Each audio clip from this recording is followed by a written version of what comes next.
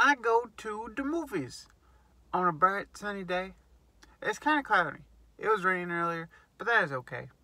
Because you can go to movies no matter what the weather is. Yeah. So, uh, I go to a movie and, uh, I, I was, I didn't know anything about this movie. It's the scary movie. And, um, it, uh, like I haven't seen no trailers or anything about this. I had no idea this existed. I was just going on the websites for the different theaters and it's like, oh, this one's playing. It's not even playing at the normal theaters I go to, but I was like, oh, we'll go and see it. And this movie, it was called The Call. Yeah, it is a scary movie. I think I saw something on the the poster thing that said uh, from the directors of Final Destination or something like that. But it isn't like that movie at all. This movie is a little, a little interesting. It's uh, it's super 80s. It's like this is a perfect example of an 80s horror movie. But it's it's not a they didn't do a bad job. It's just a this could have been released in the 80s and it would have been fine. It's it's kind of amazing. It was like down to everything. Everything they did. It uh right down to having people that are almost 30 play teenagers. These people that were supposed to be in high school were so old. They didn't even try saying they were in college or anything. It was just, wow. but the soundtrack and the vibe of the movie, all of it, it was 80s. I don't think it's a remake or anything. I don't know. But it was just on that alone, it's like that's kind of a amazing thing to get that down. I don't remember seeing a movie exactly like this. I didn't even see any trailers for this, so I don't know what would be a spoiler and what wouldn't be. But it's based around these kids. Uh,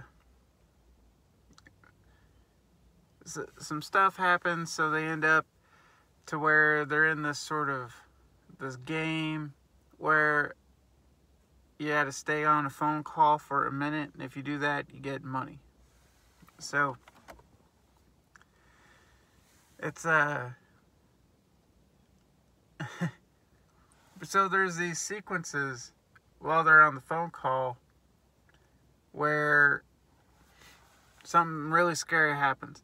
And during those segments, it was extremely like the dream sequences of Nightmare on Elm Street sort of things. And they're really well done. It was really creepy. It kind of got a little. I wish they would have varied up the colors because it's basically it's just red and black, kind of what goes on in these sequences. But the music they had going on and the way they filmed it is like this weird nightmare vision, you know, sort of thing. is a lot like the Nightmare on Elm Street like sequences in Nightmare on Elm Street, which was cool. But it's it's uh, it's kind of it's kind of weird. It's like so there's these two characters that are like an elderly couple, and they're the best actors in this. The people they have playing the kids, even though they're not kids, they're not that good. They're not that interesting, you know. But there's these two older characters and and they did a really good job. Unfortunately, the thing is is that the movie it felt a little too long, especially the beginning where they're setting this up. But that's the part with the best acting, you know, because it has has these these two uh, older actors, and they're doing a really good job, you know.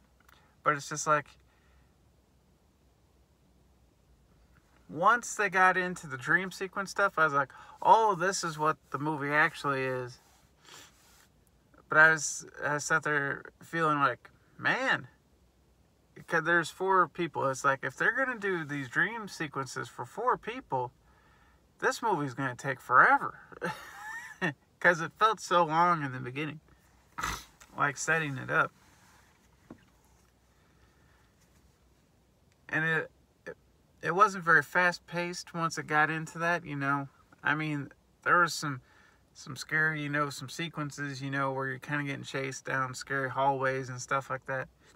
But it wasn't.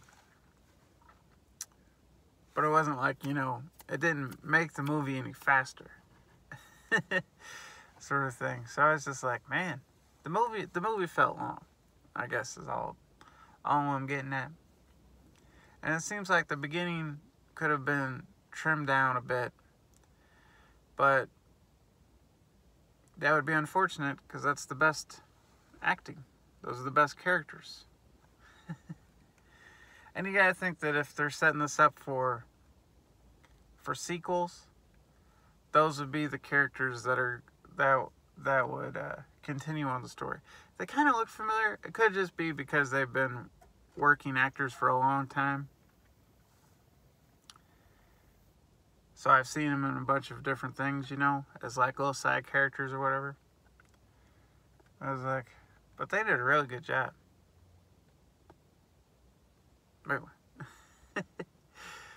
so the music was was very 80s like to a point where it kind of seemed like okay i i i understand what what you're doing. You want to make it feel like an 80s horror movie. You've succeeded. So it kind of got a little bit too much. Like they kind of overused the the creepy music there could have been parts of the movie that didn't have to have so much of the creepy music. Specifically when they weren't in the dream sequences or in inside whatever they were hallucinations or whatever whatever it was that was going on.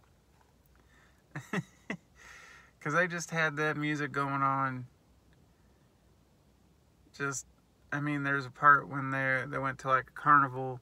There's a part where they're at the house where this take place before where where it's where the game or the the wager or whatever it is is being set up for them.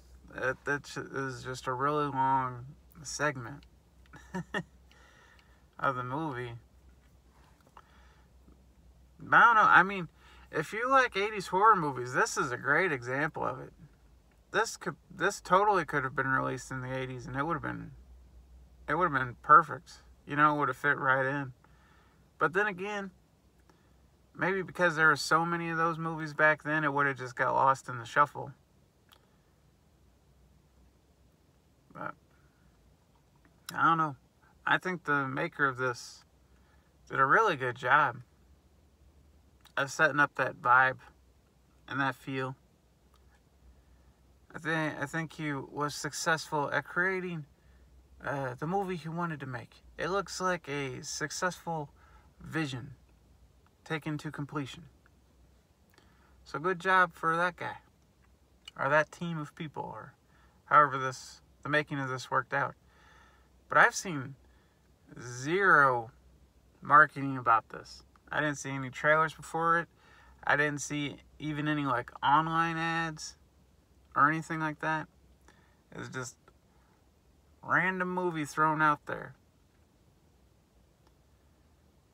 I'm thinking that if it was a normal year, this movie probably would have ended up straight on, you know, Netflix or Hulu, just just straight to the uh, streaming services. But because theaters are are hungry for content, I guess it's got to release. But it's not a bad movie. It's nothing groundbreaking either. It's just it's just uh but it, it it it didn't feel boring or average you know? I don't know. So, I liked it, you know? And horror movie people should probably go see this one. Because uh, they didn't do an awful job at it. so, yeah. So, that's my thoughts on the movie that is entitled The Call. Yeah.